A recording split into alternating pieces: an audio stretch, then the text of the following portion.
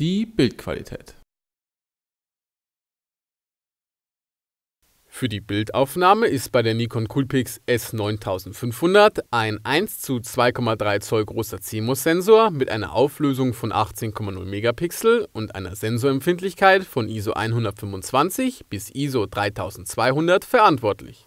Dieser gehört damit zu den hochauflösendsten Sensoren im Kompaktkamera-Bereich. Wirklich bemerkbar macht sich die hohe theoretische Bildauflösung dabei aber nicht, denn auch 12 oder 14 Megapixel besitzende Bildsensoren stellen nicht weniger Details dar.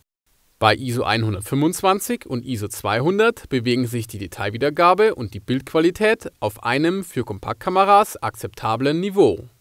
Aber selbst hier kann das Eingreifen des Rauschfilters erkannt werden. Bereits bei ISO 400 wird zudem ein erstes Bildgrieseln sichtbar die Detailwiedergabe beginnt zu sinken. Bei ISO 800 verstärkt sich dieser Trend, der Rauschfilter greift sichtbar ein und vernichtet dadurch einige Details. Bei ISO 1600 fällt die Detailwiedergabe dann deutlich sichtbar ab und ist allenfalls noch für Notfälle zu gebrauchen. Wer auch bei weniger Licht Bilder mit einer guten Bildqualität aufnehmen will, sollte keinen höheren ISO-Wert als 200 einstellen Wirklich gute Bildergebnisse werden aber nur bis ISO 125 erreicht. Damit reiht sich die Nikon Coolpix S9500 in die Riege der Reisezoom-Kameras mit CMOS-Sensor ein und erreicht eine klassenübliche Bildqualität. Einen interaktiven Vergleich der hier gezeigten Bildausschnitte finden Sie auf dkamera.de. In diesem Bildqualitätsvergleich haben Sie die Möglichkeit, die gezeigten Bildausschnitte interaktiv zu vergleichen.